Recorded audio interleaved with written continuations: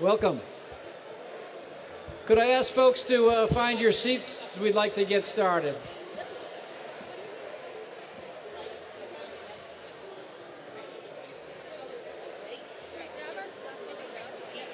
We ask everyone to find a seat so we can get the program going. We've got some great entertainment, a great speaker, some nice awards, and a lot of nice people. Hi, George.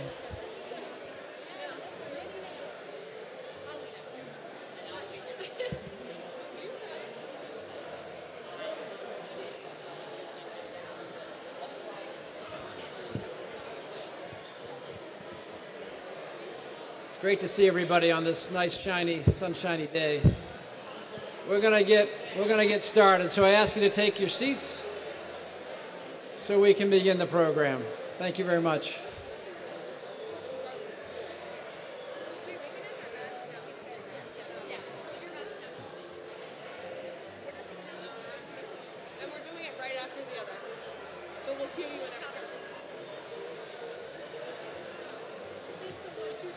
Just ask you to take your seats so we can get started.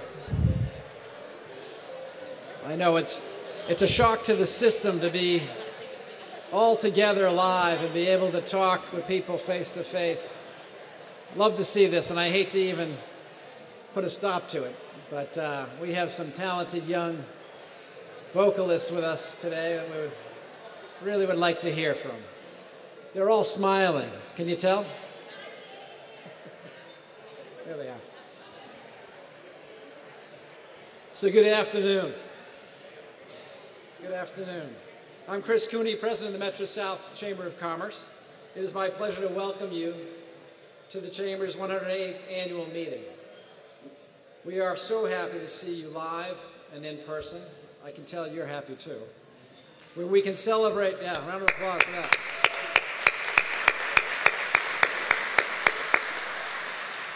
In person, we can celebrate accomplishment and success together as a business community.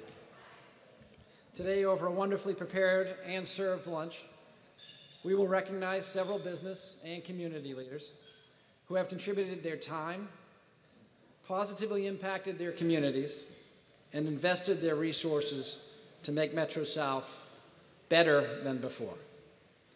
Although this pandemic may not be entirely over, we thank all of you for your help in allowing this annual meeting to return to an in-person celebration.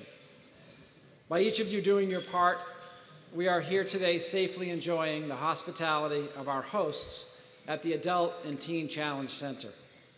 I want to thank Chef Charles Herman, Director of the Culinary Arts Program here. Charles is both a graduate of Teen Challenge and a graduate of the Culinary Institute of America. I also want to thank our other key contacts here, Zach Grizzard and Dylan White, for their leadership in helping this program happen. And of course, most importantly, our culinary arts students who are serving as waiters today. Let's give them all a round of applause for the effort.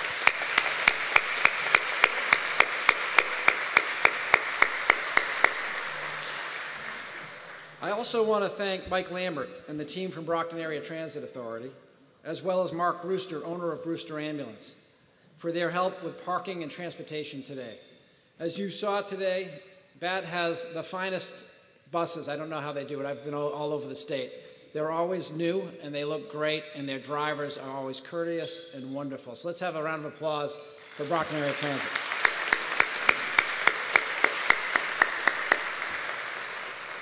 We are happy to also be featuring so many businesses and organizations uh, with this expo today uh, throughout this space. You can see them uh, lined up on both ends of the room.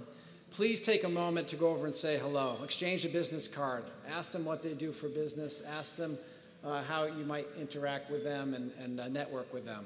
Uh, it's important to the Chamber and to the business community for us to be back and live and doing business and meeting people face to face. And these are companies that took the time to come and participate. So please go, go out uh, before you leave and say hello. Small Business Saturday is on November 27th this year. The Chamber and American Express yeah, remind you to start, shop local and strengthen small businesses and build the regional economy. Saturday, November 27th is also the Downtown Business uh, parade and annual celebration. We ask you to support the Downtown Brockton Association in this initiative. Again, they're back live this year, and again, it's on September 27th. At this time, I would ask if you have anything uh, in the way of the table, any bags in the way, please place them under your seat or under your table so the servers can come in and uh, clear your salads. By the way, please enjoy your salads while I'm speaking. In fact, enjoy your meal throughout the, the session. That's how this is designed. Uh, they will be by in about 10 minutes to take the salad away and bring uh, your meal. And now to sing our national anthem, please join me in welcoming Symphonium, Cardinal Spellman High School's a cappella choir, directed by students Dylan Moore and Carolyn Kelly.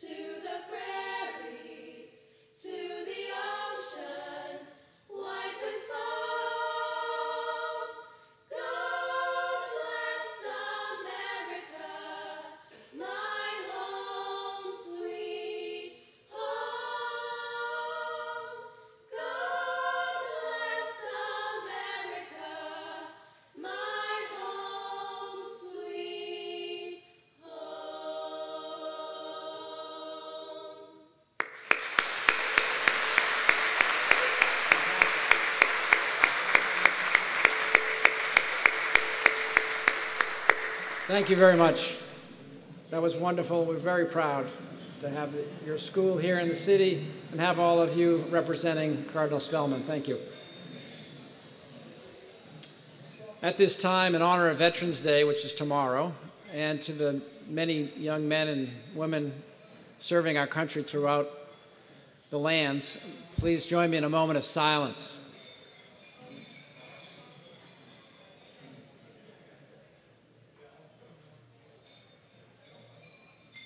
Thank you very much. We have a very full agenda, so please continue with your meals as we continue with the program. I'd like to, to uh, recognize some of our larger sponsors today for this event. Events like this can't help happen without their support and without your support. Our premier sponsor is Sharon Crescent United Credit Union, and with us here today is Executive Vice President Bob Gustafson and Richard Hook, Commercial Services Manager. Let's have a round of applause for the whole SCU team.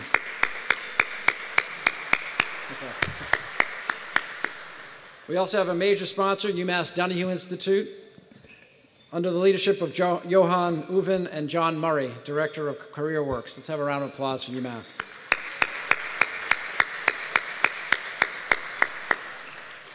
And finally, our expo sponsor is Bridgewater State University Fred Clark, our immediate past chair and president of the university, as well as a team, a whole team here from BSU. Uh, let's have a round of applause for BSU.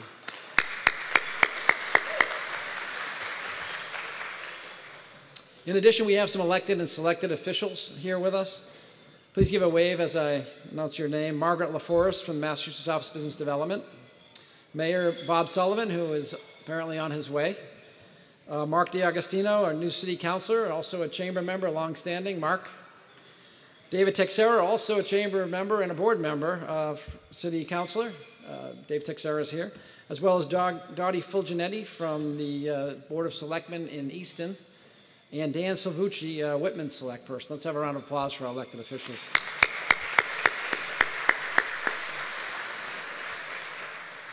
We also want to thank so many of our past chairs of the board, directors, and economic development partners who are in attendance this afternoon. Thank you for your commitment and participation throughout the years.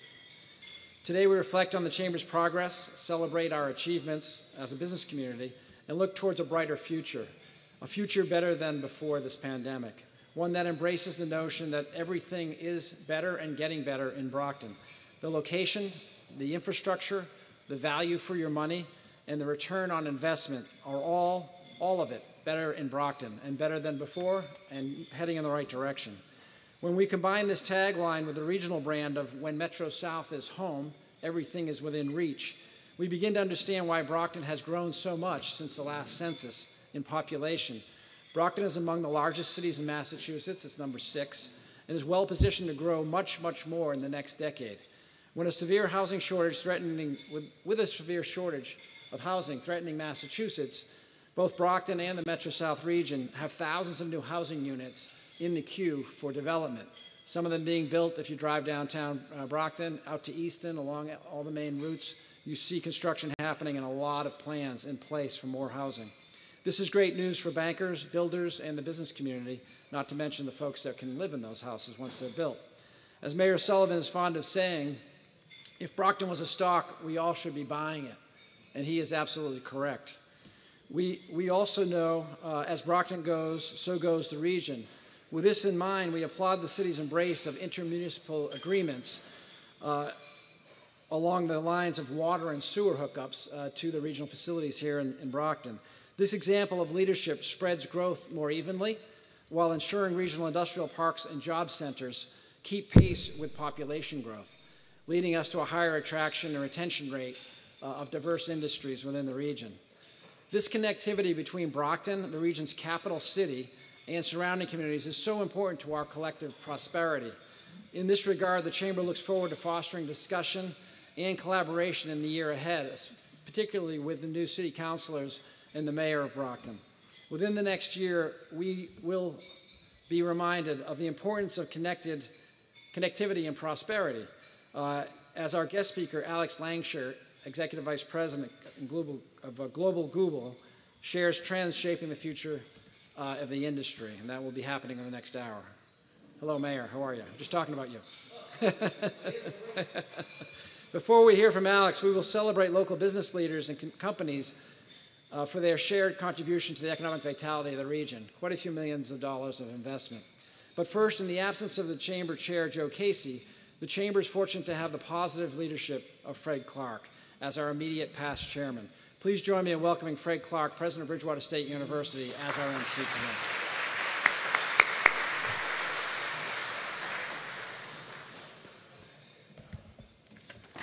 All right, thank you very much, Chris. I am so happy to be here. My daughter's a freshman at Bridgewater State, and I know that uh, she would use this word to describe all of us being together in person. It's sweet to see all of you here. Nothing against Google Meets, nothing against Zoom or Teams, but there's just no substitute for being together in person, so it's not lost on just how great it is. When um, Joe asked me to MC, he also asks that I extend to all of you his appreciation for your participation today and also for your support of the Chamber of Commerce over the past year. He looks forward to chairing the Chamber Board and with working with all of you in the year ahead. The Chamber has a lot to celebrate this year as we reflect on a year that began with so much uncertainty but steadily improved, moving positively in a direction of greater personal safety and productivity. As I look out at this great and impressive gathering of business and community leaders, I'm reminded of some of the change and the promise of the year ahead. I see my terrific brand new colleague, person with amazing energy, Ray DiPasquale, the president of Massasoit Community College. Where is Ray? Ray? I know he's here. There he is over there. He's great. Mark D'Agostino, our new Brockton City Councilor, is with us. I see the new Good Samaritan Hospital CEO, Matt Hesketh. Of course, the mayor's new chief of staff and my very good friend, Sydney Mara, who we miss. She was at Bridgewater State. Um, and I also see the new Bank of America market executive, Margie O'Brien, with us as well. And the new UMass Donahue Institute CEO, Johan Uvin. In addition, I'm happy to see the kind of new BAT Administrator, Michael Lambert, and although it says the new Old Colony Planning Council Executive Director, there's no way I can consider her new. Mary Waldron is with us as well. In addition, we look forward to meeting the new signature healthcare CEO, Bob Haffey. However, I'm so happy to see right over there our friend, retiring CEO, Kim Holland, who's with us today. And He's one of the very few Southerners that I've ever met that actually traveled north. But I want to thank you, Kim, for making that journey and for the remarkable difference you made for this city and for this region at a time when we needed you the most. Thank you so much, Kim Holland.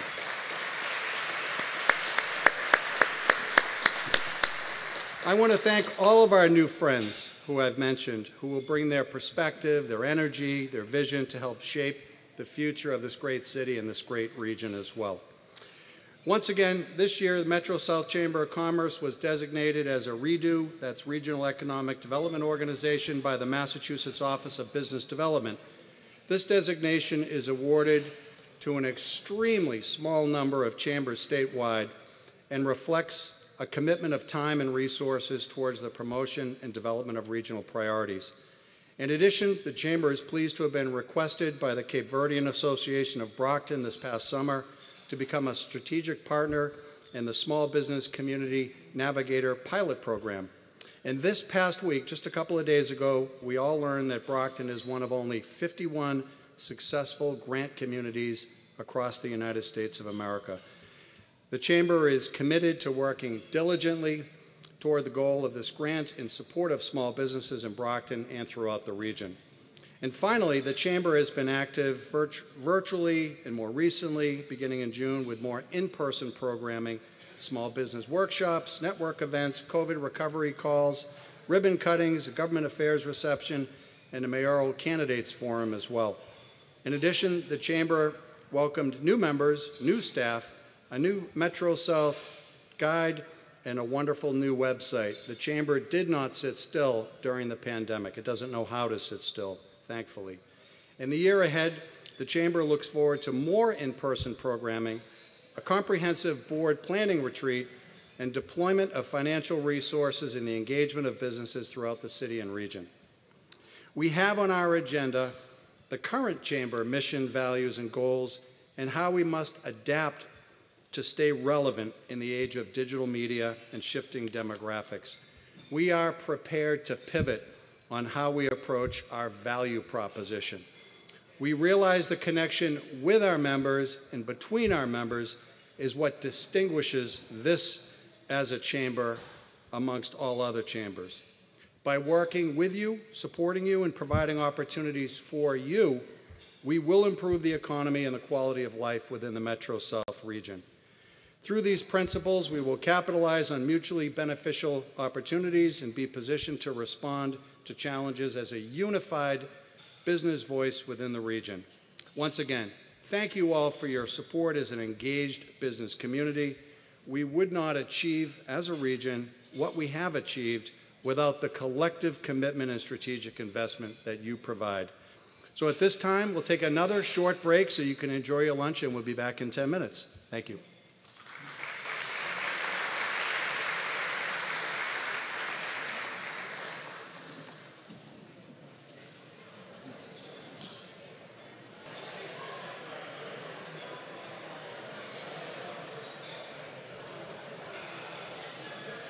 Okay, folks, we're going to get started again. Keep eating, enjoy yourself. I hope you uh, had time to enjoy this really terrific lunch. Thank you so much for our hosts, for the chefs, for preparing it. Well done. Beautiful. Thank you. At this time, I'm pleased to report, present the report of the nominating committee for 2021. The slate was officially elected at the October Board of Directors meeting. I would ask those present to just give you a wave as I call your name, and please hold your applause till we recognize everyone. Nominated and elected to the class of 2022, David Teixeira, the mattress maker of New England, Donald Donaldson, Beantown Builders, Albert Senesi, Victory Human Services, Lisa Stratton, The Enterprise Wicked Local, Andrew St. Pierre, Brockton uh, Plumbing Supply, nominated and elected to the class of 2023, Paul Angonetti, Bank of America, Jenny Mather, JM Pet Resort, Carol Chin, McDonald's, Matthew Hesketh, Good Samaritan Medical Center, Kelly Mallory, Mallory Headset, Nominated and elected to the class of 2024, I feel like I'm at Bridgewater State with all my friends over here. George Spilios, Crown Uniform and Linen Service. Todd Copeland, Copeland Auto Group. Rick Fisher, Bluestone Bank. And Michael Lambert, Brockton Area Transit Authority. I would like to ask all Metro South Chamber of Board meeting uh, chamber members in attendance to please rise at this time along with all of the folks that I just mentioned. How about a round of applause for their service? Thank you very much.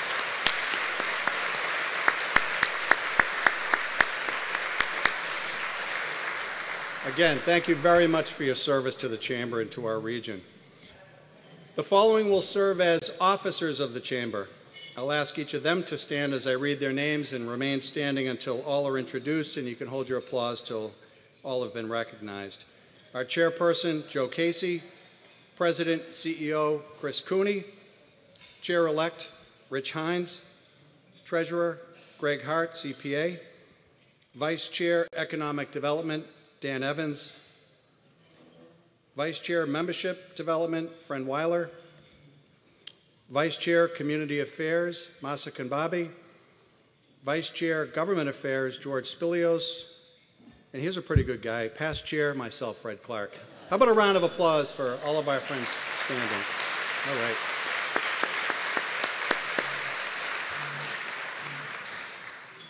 As part of our annual meeting, we have the presentation of recognition awards.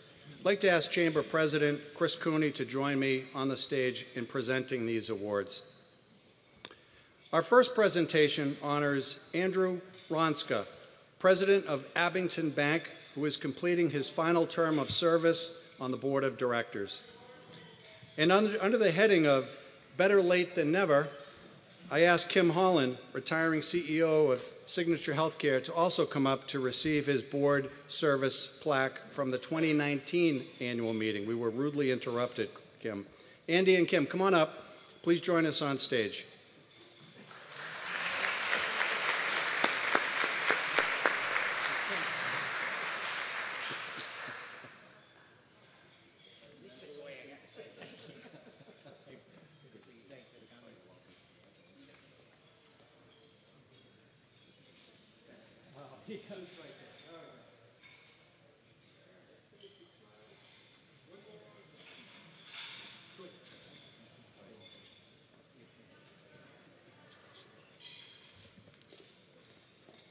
Thank you so much, Andy and Kim, for your service.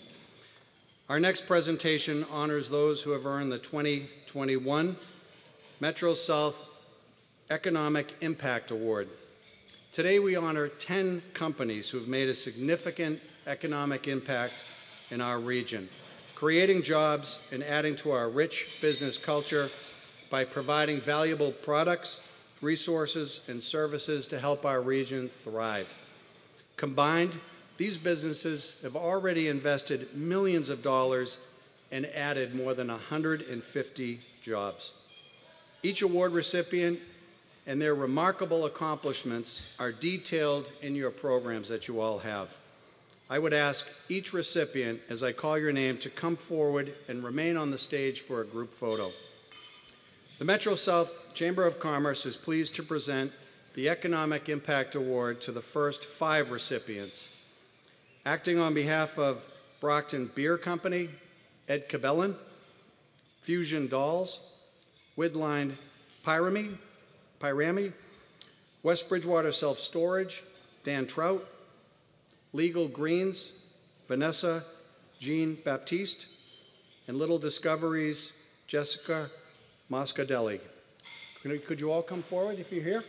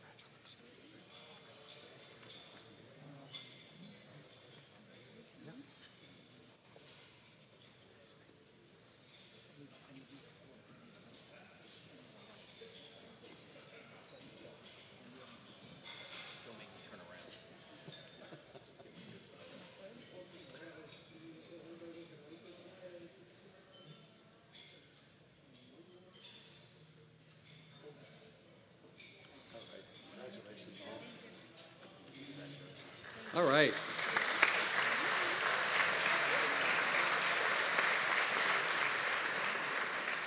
Well done. Chamber is pleased to present the Economic Impact Award to the next five recipients. Acting on behalf of Vitra Adult Day Health, Max Voshin, Green for All, Dottie Fulginiti, Smithers Landscape, Josh Smith, New England Tortilla, Mi Nina, Mike Guerrero, Sycamore on Main, NeighborWorks, Cindy Pendergast. All come up. Come on up. Congratulations. Congratulations.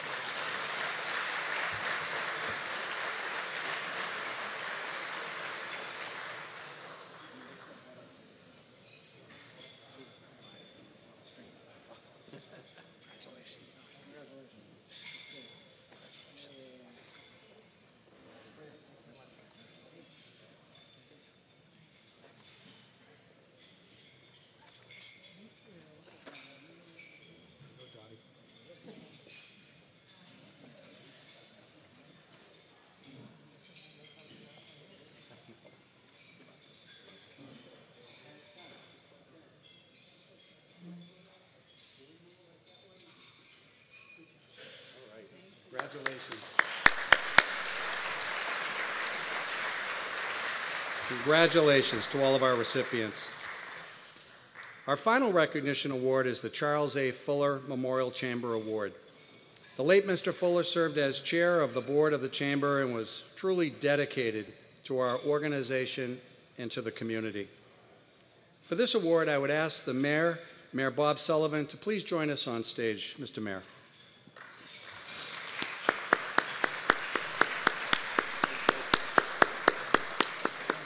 By the way, congratulations, Mr. Mayor, on your reelection. This award recognizes an individual whose leadership performance, personal example, and good influence has done the most to, to advance the welfare of the Metro South Chamber of Commerce and its community. This year's award is shared by Margaret LaForest and Susan Whitaker of the Massachusetts Office of Business Development. Margaret and Susan are truly extraordinary in their commitment to assisting small businesses and the communities that comprise the Metro South region.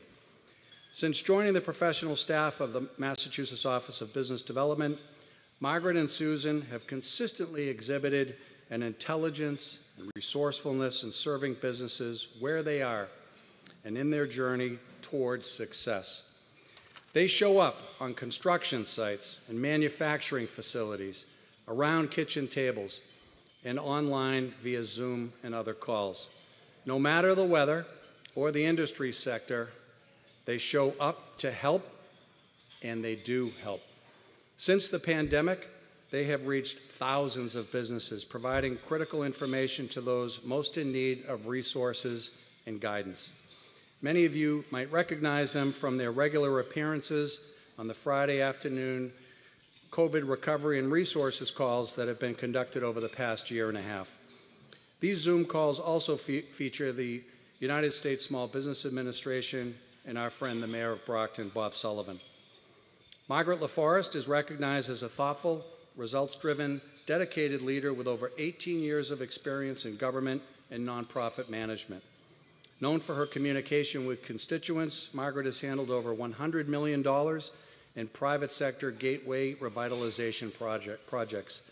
She also has extensive experience in organizational management and economic development. Sue Whitaker has over 20 years of experience in both the private and public sectors with a focus on building relationships and facilitating public-private partnerships to advance workforce development. In her previous roles, Sue connected businesses and community organizations with data-driven workforce solutions. She also oversaw, directed, and implemented a wide range of public-private development activities to advance business initiatives, services, training, and growth. We are so honored to present the Charles A. Fuller Memorial Chamber Service Award to two true business champions and community leaders, Margaret LaForest and Susan Whitaker. And Mr. Mayor, come on up, Margaret. Margaret's coming up.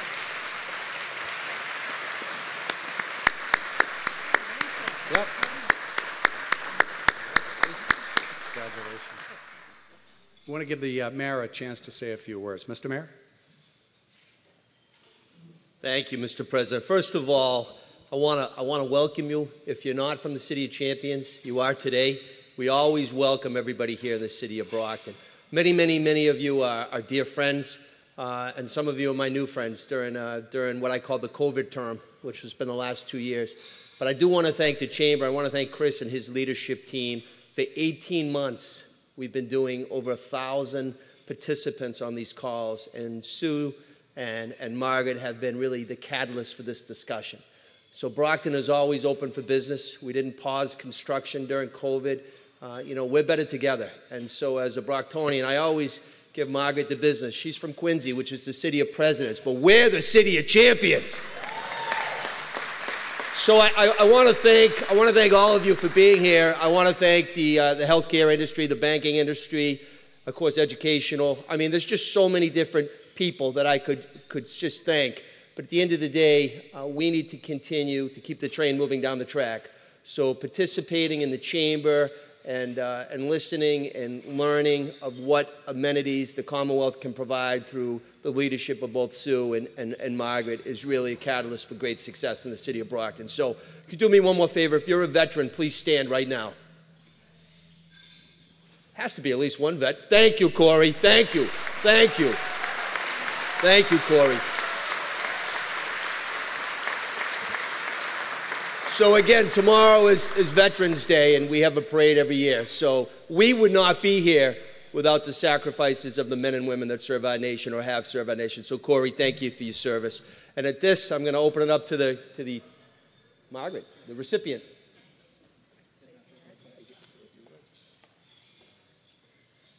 Thank you all so kindly. This is Sue and I really appreciate you recognizing us the Baker Polito administration also wants to buy stock in Brockton, Mayor Sullivan. Yes, yes. When uh, Sue and I came on the Mass Office of Business Development, we were given a directive to make Brockton our home base. We have been so welcomed by Chris Cooney and the team at the Metro South Chamber. You're truly our, our favorite. You've been one of the most consistent across the Commonwealth with these small business calls. We're always, Sue and I are both always a resource.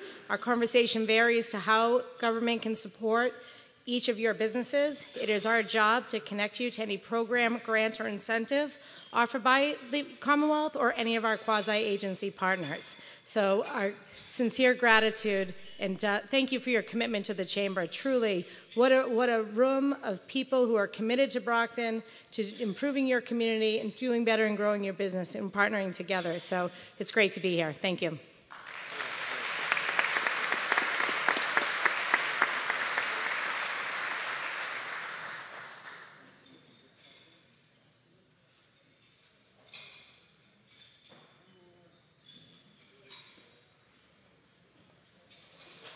Congratulations, Margaret, Sue. Sue couldn't be here, by the way, because she had a water skiing injury, and uh, that must have been fun.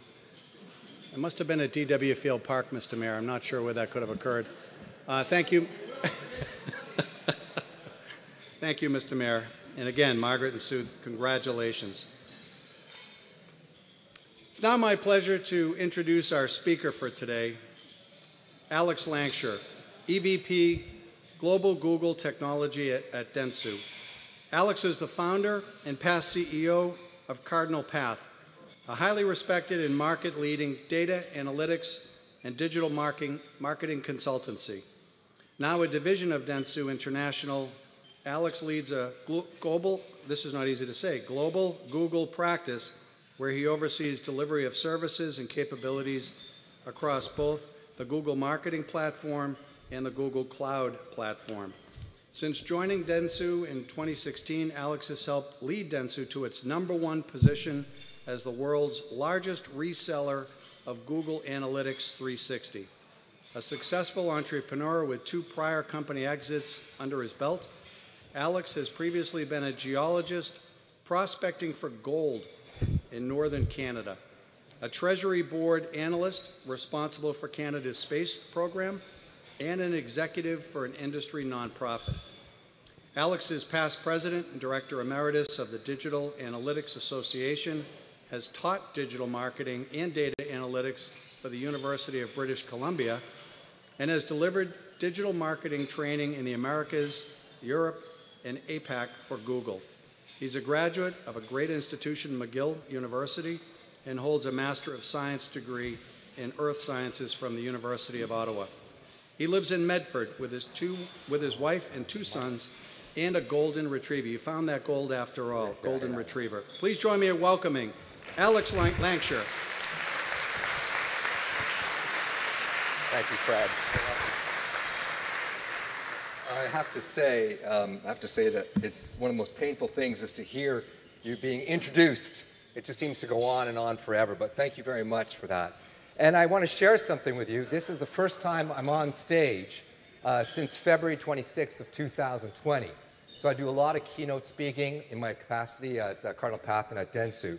And um, so I'm, I'm, putting on a, I'm putting on not necessarily a suit. In fact, I, my suits don't fit me, and I can't even tie a tie anymore. Uh, it's been so long. So uh, this is the first. I'm really happy to be here. Thank you very much for the introduction to uh, to speak, uh, the invitation to speak today. Um, it is uh, you know, it's really, really, really wonderful to be back in a room with people. It's just a fantastic thing. So uh, I'm just really thankful that we're, we're, we're able to do this and get life back to normal again, because it's just, we really miss this. It's great. It's really great. Uh, so I'm just going to pull this out here and say, uh, I have a talk today, and the talk is I've been thinking a lot about this. Um, what, what would be something that would be really relevant given the role that I currently do? And I decided to, to focus in on something called Google. I think many of you have heard of it. And the reason why I want to focus in on Google is because all of you, if you're running a business, whether you know it or not, you have a relationship with Google. And many of us don't understand the importance of that relationship and if we don't understand the importance of that relationship, then we're not managing it appropriately. And as I, hope to show you by the end of today's talk, uh, this relationship is probably one of the most important relationships that you have today.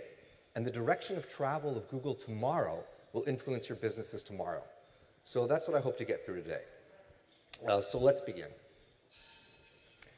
So Chris gave, uh, a, sorry, Fred gave a very nice introduction for me, but I want to just bring it down a bit and just share a little bit about myself in a, in a more personal way.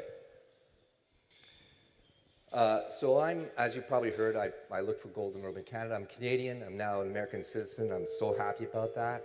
Um, when I moved to the United States, I took a job as the VP of Client Services for an IT outsourcing firm.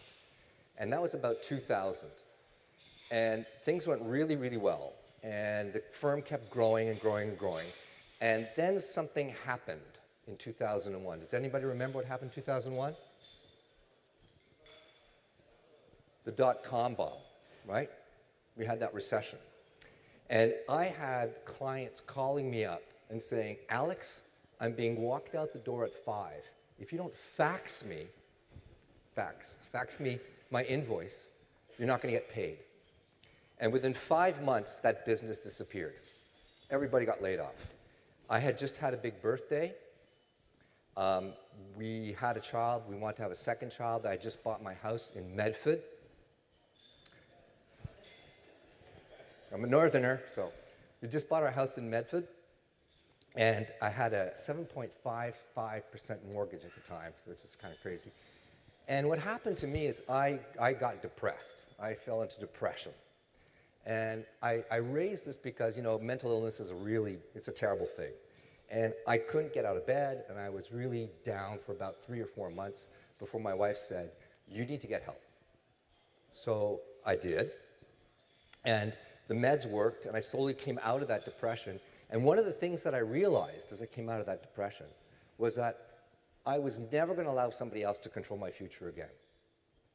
I was going to take control of my, my destiny. And I was in the United States of America, and I decided to become an entrepreneur.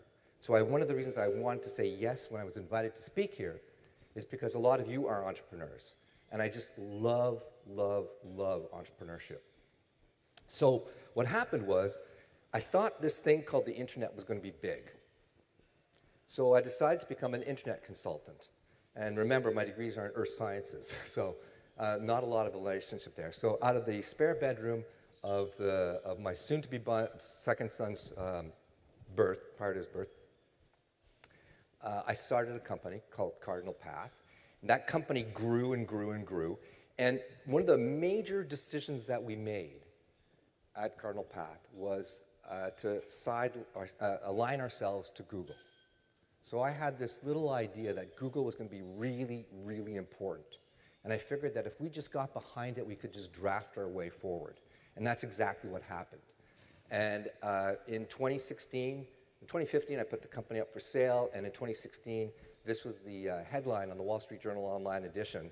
And so we had that exit. And it was a, a really wonderful, wonderful moment. Um, and, I, and I bring this up for you uh, because you know, the idea of entrepreneurship is something that's really fundamental to me.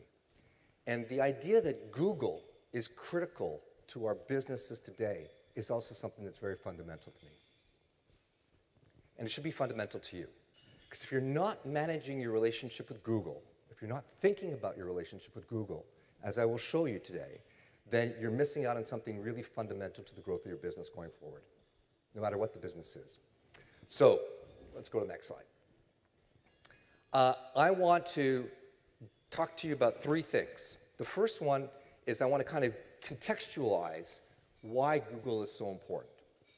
The second thing is I want to link that to mobile because the next big, big thing is mobile. And the importance of understanding the criticality of mobile to the experience and the customer experience can't be underscored. I want to then shift and talk a little bit about what's going on in the commerce wars because all of that's going to impact us in big and fundamental ways. And then I want to kind of leave you with something very inspirational about the future by talking about Alphabet's big bets are. Because the parent company for uh, Google is Alphabet, which is kind of alpha is the first letter in the Greek alphabet, so it's like early bets, alphabet. Okay, next slide. Um, so let's try and understand what's going on with Google, right? So Google just announced its third quarter results uh, on 26th of October. And the third quarter results indicate that Google made about $19 billion. dollars. I feel like I got to be like Dr. Evil and say that, but $19 billion in that quarter, right? Which is on track to do about $75 billion in the year. Now, that's more than the GDP of most countries on the planet Earth, and that's net profit. Think about that. That's net profit. Now, the thing about it is when you look at where Google makes its money, that's the important thing. Where it makes the bulk of its money, yesterday, today, and tomorrow, is in this little thing called search. And that's the light blue of the G up here. Right? That's where it makes the bulk of its money. And that's the part of the Google pond that most of you are likely going to be swimming in.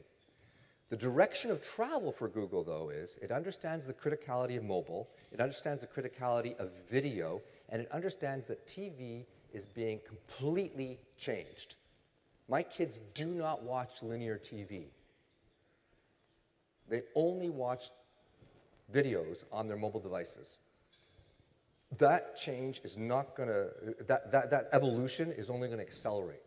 And all of you are going to be able to buy ads on any one of these channels that are out there easily. Google's going to make that happen. So that little bit of red where YouTube is, it's going to be much bigger as people start to put a lot of ads there. So that's where Google makes its money. Next slide. Now, how did Google build this franchise? It built the franchise because they realized that the second something is digital, it's measurable. The second something is digital, it's measurable. So Google knows, and, and this is for real, Google knows um, basically who you are. It knows where you've been. It knows what you like. It knows who your friends are. It knows what your future plans are. It knows what devices that you have and how they're connected to one another. And it understands your financial life. Let's unpack just one of those, right? How does Google know what devices you have? Most of you have a phone. Many of those phones are Android devices. Most of you have Gmail. Most of you have used Chrome as a browser. If you've logged into any of those things, Google stitches the devices together. So if you log in on your laptop with Chrome, and then you log in on your mobile phone, and then you log in on your TV, and then you log in on your car with Android Car, those are all stitched together, and Google builds what's known as a device graph. And because it's you, it builds also something called an ID graph. So their device graph and their ID graph are funda freaking mental to their enterprise. Absolutely critical. So if you were to say, you know what, um, I own a car dealership and we're getting these new minivans that are electrified. So I want to market my minivans, my electric minivans, to those people that are interested in it. Well, Google would be able to say, well, I'm looking, are you looking for an audience that are you know, 35 to 45, let's say predominantly identify as male. They have two to three kids. They have their own home because you've got to charge that, right? They take a number of trips. We know they've owned cars previously. We know they've owned at least one of their ho uh, house previously. Google knows all that. So we can identify that audience very specifically, and then we can place an ad in front of that audience very specifically. And that, my friends, is catnip to advertisers. And then they're going to lower the price of that and lower the, the tools, uh, the complexity of the tools, so that anybody can do it. So Google knows everything about you. And until there's antitrust legislation, that will be the case still going forward. Let's keep going. Pretty, pretty amazing, huh? Google's getting into finances right now with Wallet and Google Pay. Why? It wants to understand that piece that it doesn't have, which is how much money you actually have, and how you spend that money, and when you spend that money, and what you spend that money on. Right? We like convenience, Google likes the data. All right, remember the, the, the, the statement is if it's free, it's because you are the product.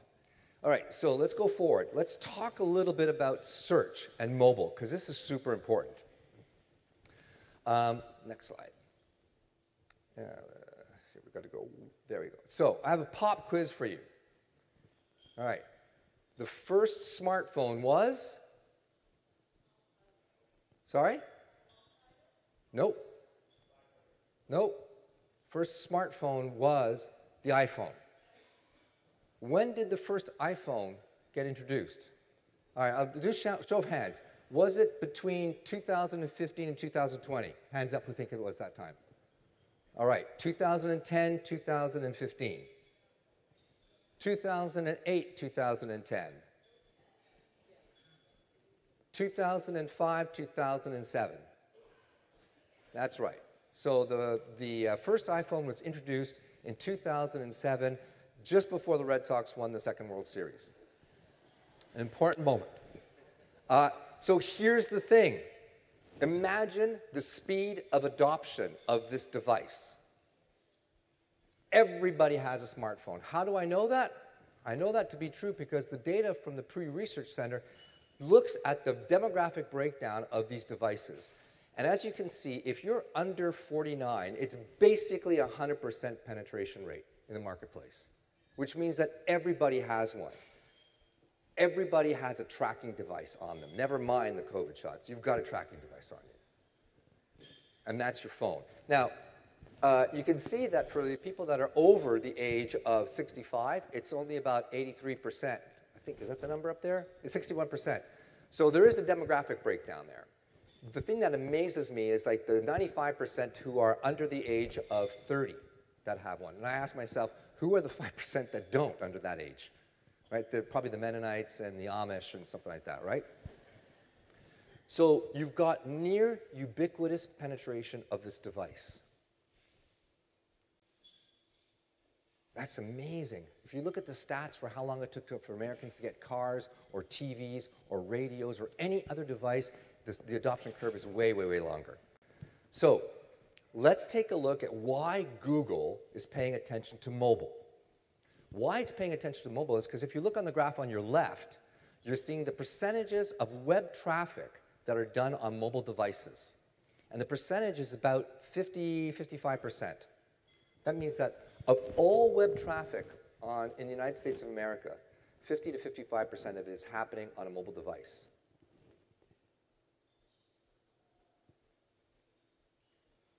That's really big. The next graph shows you the percentage of searches that are done on a mobile device. And in this case, it's 63%. Is that right? Yeah, it's 63%. So 63% of all searches are done on a mobile device. You're in the car, hey, let's get some dinner. Would you want Indian? Let's get Indian. What are the Indian places around here? Do it like that, right? I'm in an elevator. Nobody wants to look at anybody in an elevator anymore, so they pull their devices out. They look at their, right? It's true, right? We don't like our minds to wander, so we use the devices to, to keep our minds from wandering. So these data indicate something fundamental. And the fundamental truth here is that Google sees the ubiquity of mobile going forward. And as a result, Google decided to do this. They changed the way that they index web pages. Let's see if that moves forward. So it used to be that Google, whose mission is to index the world, which means to create a catalog of everything that's out there in the world, it used to be that they would look at web pages from websites. But as of March 2021, Google changed the algorithm to say that if you have a mobile if you don't have a mobile site, you're basically not going to get ranked. And if you do have a mobile site, then you're going to be indexed prior a priori. So that means that you have to think of the world from the perspective of your mobile device. That's really fundamental. So, question How many of you have looked, hands up, look at, regularly look at in search results more than eight pages into the search results? Look around the room. Okay, keep looking around the room. More than six pages. More than four pages. Okay, we have two. More than three pages. A few more. More than two pages. Look around the room. That's probably around 15, 10, 15%. All right, so if you're not on the first page, you're nowhere. If you're investing money today in your website and you're not thinking about the mobile dimension of your website, you're basically throwing money out the window. Because nobody's looking at page two or page three. So you have to look at the mobile perspective. It's super important. If you have anybody come into you and talk to you and they show you, they pull up their laptop and they show you what your site looks like, screw that. Get the mobile device and look at it from there. That's the most important thing. So we have to optimize the mobile experience. So here's the thing. Here's the thing.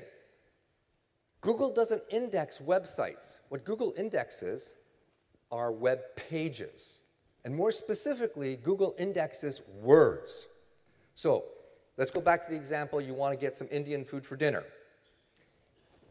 Around the world, there are these rivers of demand. Think of people asking questions into Google as like demand, and there are these rivers of demand based on the type and the nature of the query. In that river are no fish. Instead, they're keywords. They're the words that people are actually typing into the search engine. If you want people to find you, you have to think of your website, your online experience, as being a net across that river. Now, if you have words on your pages that match the keywords in Google searches, then you've got a smaller mesh. And the more words that you have that match the keywords, the smaller the mesh, i.e., the better the chance you'll catch a fish. If you don't have the words that match what people are typing in, you've got a very wide mesh. Nobody will find your site.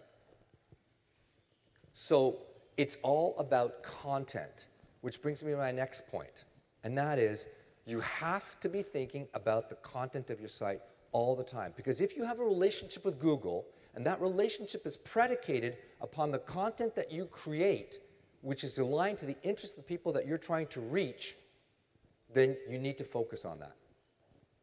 Forget TikTok. Forget Twitter. Forget Snap. Why should you forget about those? Let's go and understand why you should. Because when it comes to commerce, and most of you are in the commerce business, and this even works for universities. We do a lot of work with universities because, of course, kids go to university. Generally, the product, uh, the audience for that product, um, they're very plugged in, of course, on this. So let's talk about commerce. With me so far? Good so far? All right, let's keep going. Commerce. Next slide. On the left-hand side is the percentage of searches where they're done in North America. So Google hoovers up 91% of every search. That means more than 9 in 10 searches are done on a Google platform. Now, what's the uh, second biggest search engine on the planet Earth? Anybody know? No, it's not Bing. Sorry? I'm sorry. No, it's not Explorer. Baidu? No, it is YouTube. YouTube is the second biggest search engine on the planet Earth. Um, and then after YouTube, you've got Google Maps is the third. Right? Find a restaurant near me. So here's the thing Google has crushed it on search. Forget everything else. That's where you need to focus. Notice that the second one is YouTube. Now, the thing that's really fascinating with this, because they drove this to a trillion dollar company, the other trillion dollar company we need to pay attention to is Amazon. So Amazon, if you look on the right-hand side, you'll see that 53% of all product searches are done on Amazon. And this has got Google very, very worried. What that means is that if you're thinking about buying something, more than half of Americans go to Amazon to search for it. And then if you look below that, 23% are using a search engine, and then 16% are going to their favorite retailer, their favorite brand. All right, so let's, let's think this through. If 53% of all product searches start and end on Amazon, and Amazon is, you know, a trillion dollar company doing the most commerce on the planet Earth, Google's looking at that and saying, hmm, they're going to get into my business, so I better get into their business. So that's exactly what they're doing. Next slide. Um, the other, the other trend that I want to put out here is the percentage of mobile and commerce. So we're seeing this massive intersection where people are buying online, and COVID drove that a lot of that, and people are using mobile to buy online. So the graph on the right shows you the percentage of digital commerce that's done through a mobile device, and you can see that it's approaching 10%. It's going to be about 14, 15% by 2025. It's the graph on the right that I think is really interesting for people in this room and that is the amount of people that are doing click and then pick up in stores is growing as a percentage of total sales. And I want to move on just in case of time. Let's go to the next slide because I want to unpack this a little bit more and double click on that. So this slide shows you Google's strategy. This one image here does everything for you. And that is Google doesn't have sellers. It doesn't have any commerce capability. So what is it doing instead? it just partnered with Shopify. Shopify has 1.7 million storefronts. And if you want all of your storefront products exposed in Google search engine, they've just made an integration that's super simple. So now Google says, okay, I've got the 1.7 million searches, uh, merchants, which means I've got product, which means that people are going to be interested, and I made that super simple for them by exposing it, and all the, all the commerce is happening on Shopify. Good for Shopify, great for Google. So they're lowering the effort curve in a major, major way. I'll show you how big this is, right? How big this is. Uh, next slide. Is that Shopify loves everybody. So Shopify did a deal with Microsoft for Bing. Shopify's done a deal with uh, Walmart. Shopify is doing a deal with uh, Facebook. Why? Because everybody else wants access to that product if you don't have product. This is super important. As a matter of fact, I'm going to come back to Walmart in a second here. Amazon hasn't done a deal with Shopify. And the reason why is because you can go today and set up a store on Amazon and do fulfilled by Amazon. It's incredibly simple to do. I was on a stage about two years ago in Vermont with uh, the, uh, the, the head of uh, e-commerce for the uh, Vermont Teddy Bear Company. And he told me that they had spent upwards of $3 million to build their e-commerce storefront. They'd hired Accenture, and it was a complete disaster. Um, and he said, but we finally got it going, and I just decided maybe we should also use Amazon. I called up Amazon. In four days, Amazon had our store up, and within three months, that store was selling more than our website. Right? So Amazon is allowing sellers, merchants like yourself, to sell through their platform, and it takes a cut, of course. But Amazon is growing based on that. Google sees that, and Walmart sees it. So Walmart's also got merchant stores as well. And we're going to see a lot of this where they're basically opening up the platform so that you can use those platforms to sell your products through. It's a, it's a sea change in the way that we do business. Let's go to the next slide. Super interesting stuff. Now, what I think is really wonderful and amazing for most of you, and it's a little secret, is that as a result of COVID, buyers' patterns are changing. And so this was a survey that was done by PricewaterhouseCoopers. They had 86,000 8,600 people that they surveyed, and they said, you know, how has the pandemic changed the way you feel about buying? And I want you to take a look at the top one here. It's I am digital. I'm fully digital. And the second one is I am local. People understand, certainly in our household, every week we bought, a, we took takeout from one of the local businesses. We shopped at local businesses because we knew they were getting hammered. And it was our, it's like a little thing that we could do. And I think that's extended elsewhere. So that's good for you. And I'm going to show you how that changes even more. Gen Z, right, who have all the smartphones and a lot of pow uh, purchase power, they plan to do most of their holiday shopping in stores locally. Good news for us, right? So let's keep going and, and, and pull this together with um, uh, the, the best of both worlds. So some of you have probably heard of BOPIS, buy online, pick up in store. So BOPIS is everywhere. If you go to Wegmans, you can see it there. If you go to Target, you'll see it there. If you go to Bed Bath & Beyond, Best Buy, they've all got those spots just outside the store where you can just drive up and you get your stuff that you just bought. And if you look at the reasons why people like doing that, this is a, a pretty good survey. Most of them like it because they can see right away, yeah, that's what I ordered. And if they want to return it, they can. They don't have to pay shipping fees. There's all kinds of reasons why they like that. Uh, Walmart is gaining on Amazon with respect to e-commerce. Why? Because Walmart has the most stores on the planet, right? And so people can do BOPIS very, very easily with Walmart. In fact, we did that with one of the air conditioners we bought last year. And they think about 50% of most of the major retailers are now going to enable BOPIS, i.e. buy online, pick up in store. So if you're going if you're going to manage your relationship with Google, and if you're going to enable commerce online with Google through Shopify, and you want to have people come to your stores, what I'm saying is that the, the trends are clear. And the trends point to people want to go to shop local, they feel good about that, they get that psychic yumminess, and they'll pick up in store. So it's good stuff. All right, so my time on the stage is brief, and Chris said to me, I'd love you to kind of end with something inspirational. And I was like, oh my God, I'm a business person. uh, but I, remembered something that I saw that I thought was really inspirational. So I'm going to ask you uh, to, to listen closely to this. It's a, it's a clip from Google that was done in 2018. So it's a little bit old, but what that means uh, for the future is even more important. And we'll play it and then I'll just kind of link these things together. So can we play that clip? the progress with the assistant. As I said earlier, our vision for us is to help you get things done.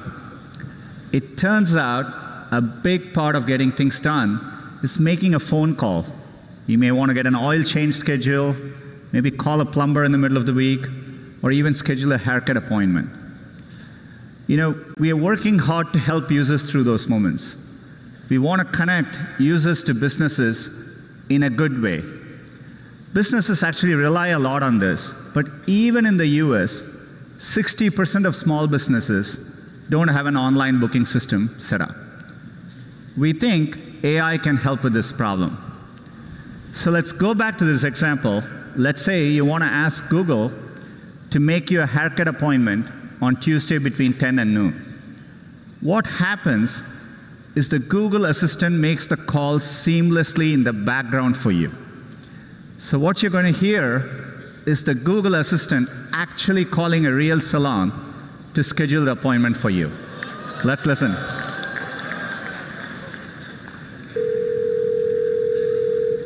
So how can I help you? Hi, I'm calling to book a women's haircut for a client. Um, I'm looking for something on May 3rd. Sure, give me one second. Mm-hmm. Sure, what time are you looking for around? At 12 p.m. We do not have a 12 p.m. available. The closest we have to that is a 1.15. Do you have anything between 10 a.m. and uh, 12 p.m.? Depending on what service she would like. What service is she looking for? Just a woman's haircut for now. Okay, we have a 10 o'clock. 10 a.m. is fine. Okay, what's her first name? The first name is Lisa. Okay, perfect. So I will see Lisa at 10 o'clock on May 3rd. Okay, great. Thanks. Great. Have a great day. Bye.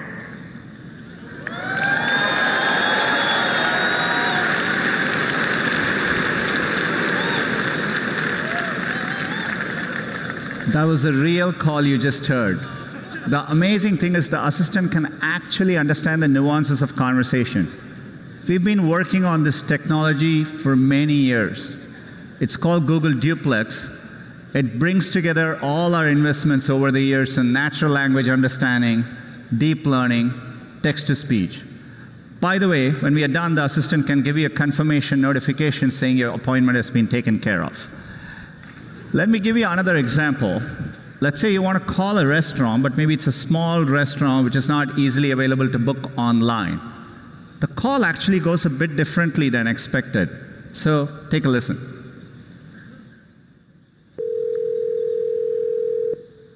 See how may I hear you? Hi, um, I'd like to reserve a table for Wednesday the 7th. For seven people? Um, it's for four people. Four people when? Um, next Tonight? Wednesday at 6 p.m. Oh, actually, we leave here for like upper like uh, five people. For few, for people, you can come. How long is the wait usually to uh, be seated? For when tomorrow or weekday or? For next Wednesday, uh, the 7th. Oh no, it's not too busy. You you, you can come for four people. Okay. Oh, I gotcha. Thanks. Bye bye.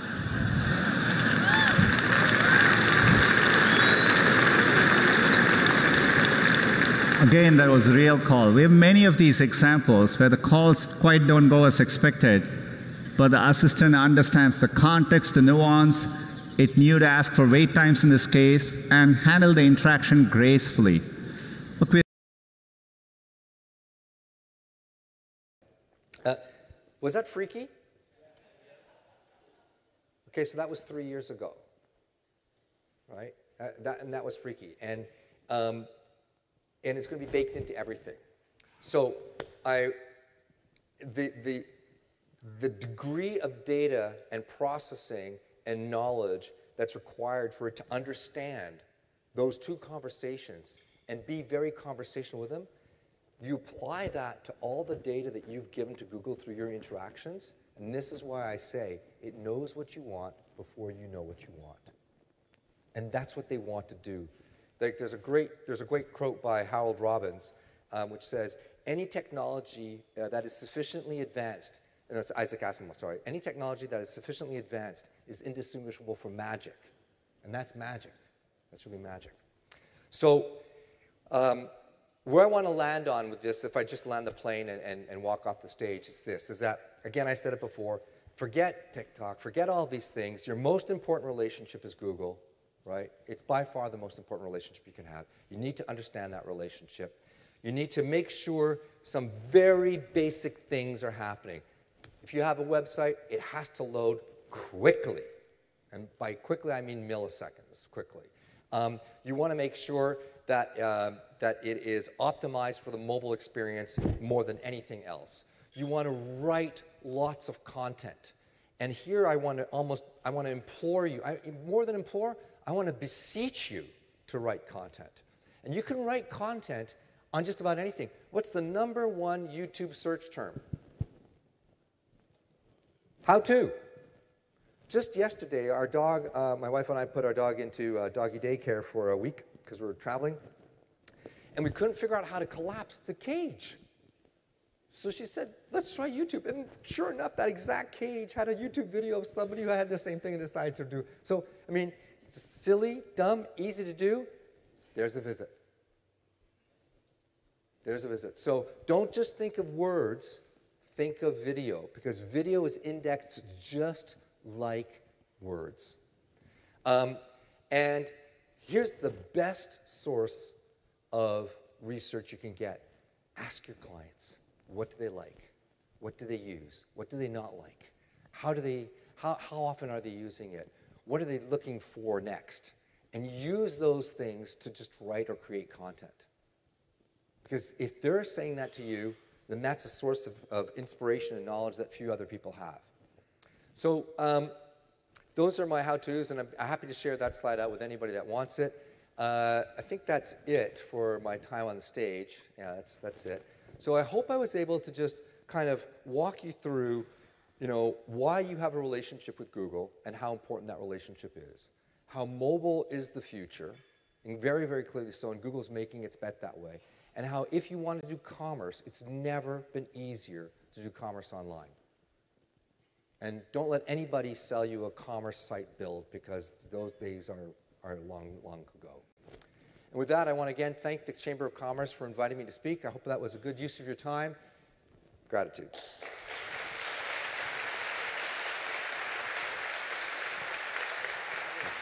Thanks very much.